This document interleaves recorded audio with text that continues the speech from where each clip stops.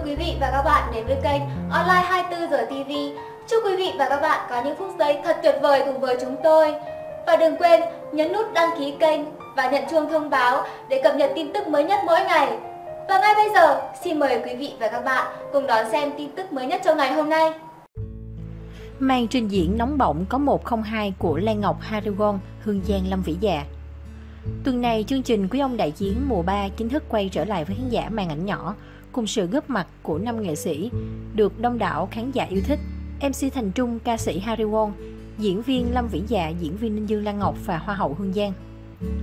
Qua hai mùa phát sóng, Quý ông Đại Chiến trở thành một trong những game show được nhiều khán giả yêu thích nhờ sự xuất hiện của các mỹ nhân nổi tiếng trong showbiz, cùng sự hội tụ những chàng trai tài năng đến thể hiện sở trường của mình.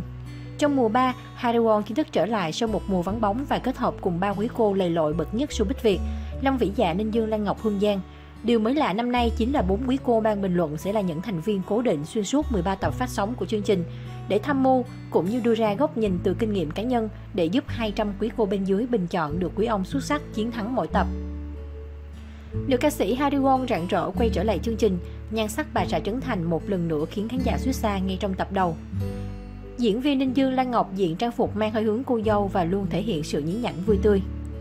Diễn viên hài Lâm Vĩ Dạ dù luôn bị các đàn em chiêu chọc dìm hàng, nhưng cô vẫn tỏa sáng theo cách của riêng mình. Hoa hậu Hương Giang, một trong những quý cô được khán giả hào hứng nhất cũng đã quay trở lại chương trình. Chương trình năm nay vẫn do MC Thành Trung dẫn dắt. Ngay khi mở đầu, nam MC nói rằng nhờ tình yêu thương của khán giả mà anh và các nghệ sĩ trong chương trình đã có được những thành công bước tiến trong sự nghiệp, cũng như sự may mắn trong cuộc sống.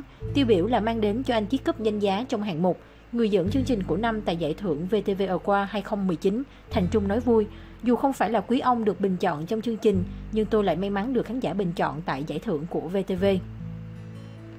Với các quý cô của chương trình, năm MC cũng nhận thấy họ có nhiều may mắn trong cuộc sống trong suốt năm vừa qua. Lan Ngọc mưa giải thưởng tại rất nhiều lễ trao giải, Hương Giang lấn sân sang điện ảnh một cách ngoạn mục, Lâm Vĩ Dạ được khen thông thả hơn. Riêng với Harry Won, Thành Trung hỏi bà xã Trấn Thành có mong muốn gì trong năm nay.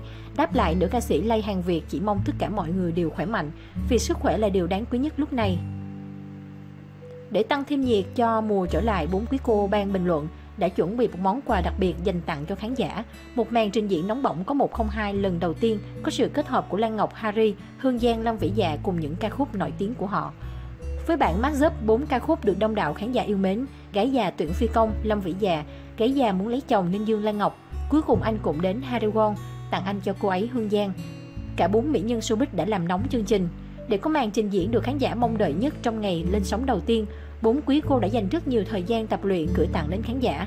Trước đó, Lâm Vĩ Dạ cũng vừa tung MV Paradise, Cái già muốn lấy chồng, cùng ba cực phẩm từng xuất hiện trong chương trình Quý ông Đại Chiến mùa 2, cũng thu hút được hơn 3 triệu lượt xem trên YouTube.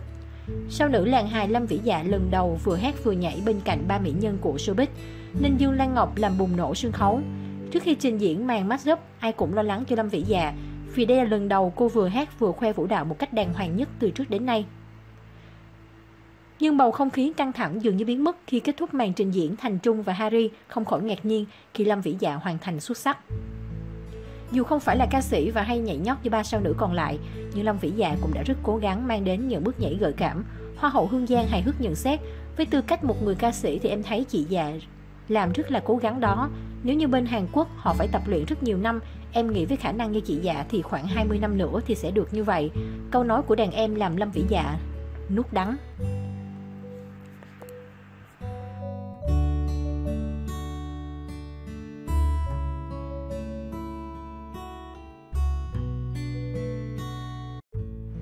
Vừa đoàn tụ với chồng, Lâm Khánh Chi đã rủ bạn đi nhậu say xưa.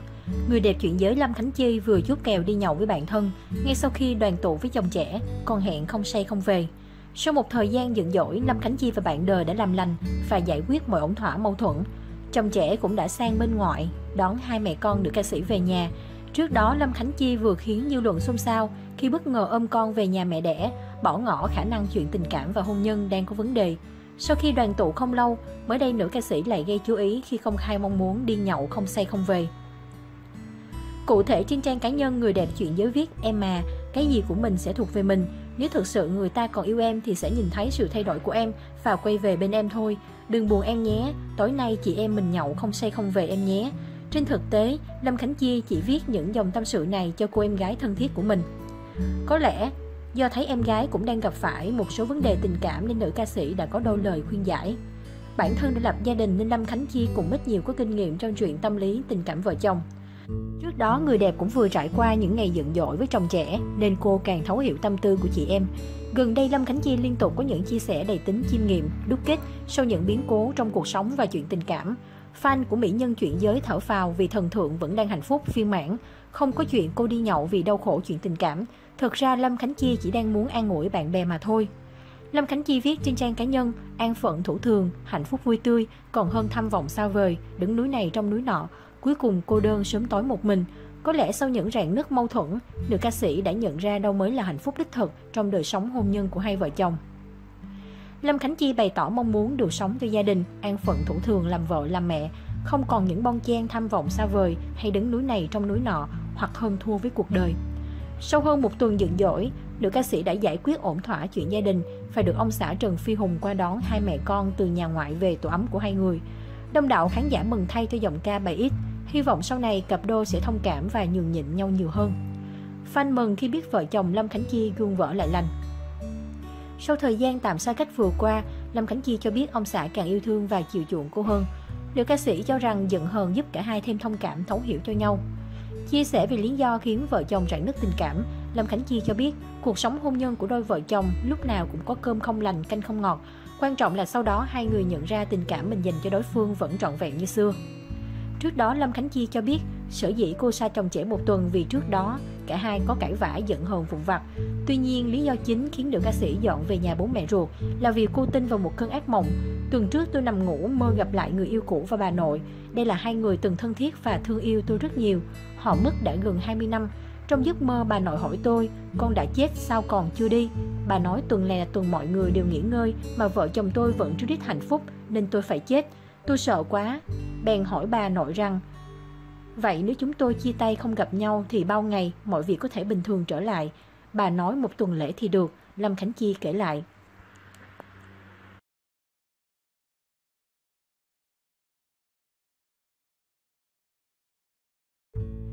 Nghe tin các con gặp tai ương Hoài Linh lần đầu lộ diện ngoại hình đen nhẽm gầy guộc. Giữa lúc con trai ruột và con nuôi gặp nhiều biến cố, nghệ sĩ Hoài Linh lộ diện với vóc dáng gầy guộc khiến nhiều người xót xa. Vừa qua, thông qua trang cá nhân, ca sĩ Dương Triệu Vũ thích thú kể lại chuyến ghé thăm người anh nổi tiếng sau nhiều tháng chưa gặp. Theo tiết lộ của dòng ca 8X, từ Tết đến nay hai anh em mới có điều kiện gặp nhau.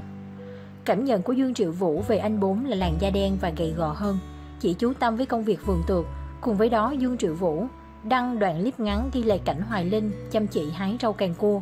phững như thói quen danh hài xuất hiện với hình ảnh giản dị chân chất và ra dáng miệt vườn. Hoài Linh xuất hiện xuống sắc giữa biến cố của các con, năm nghệ sĩ trông gầy gò và đen hơn so với trước đây. Được biết thời gian qua, tin buồn dồn dập đến với danh hài Hoài Linh giữa thời điểm dịch bệnh đang hoành hành khắp nơi.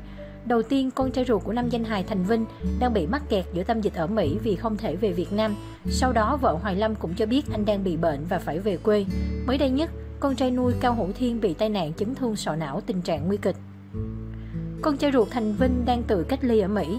Con trai nuôi Hoài Lâm gặp vấn đề sức khỏe đang ở quê dưỡng bệnh. Một người con nuôi khác của Hoài Linh là Cao Hữu Thiên gặp tai nạn nghiêm trọng phải tiến hành phẫu thuật. Danh hài Hoài Linh vắng bóng trên sóng truyền hình sau thời gian phụ sóng game show. Và theo danh hài chia sẻ, lúc này bản thân muốn nghỉ ngơi làm những điều mình thích sau thời gian cực lực kiếm tiền xây nhà thờ tổ, tâm nguyện lớn nhất cuộc đời làm nghệ thuật. Dù nghệ sĩ Hoài Linh không bày tỏ thương nhớ các con trên mạng xã hội hay truyền thông, nhưng qua clip của Dương Triệu Vũ đã thấy rõ danh hài lo lắng đến nhường nào. Khi chứng kiến ngoại hình đen nhẽm gầy guộc của Hoài Linh, khán giả bày tỏ xót xa, hy vọng rằng tai ương của gia đình Hoài Linh sớm đi qua để anh trở lại với khán giả trong diện mạo khỏe mạnh như trước. Sau khi phim Tiền tỷ thất bại, Việt Hương thừa nhận tôi không thông minh, rất khó tính ngoài đời. Việt Hương cho biết, thực ra chị không thông minh như nhiều người nghĩ. Thời gian vừa qua chị làm giám khảo nhiều chương trình, nhưng đó là do duyên số. Còn thực ra chị vẫn là một diễn viên hài. Việt Hương là một trong số những diễn viên hài được yêu thích nhất hiện nay.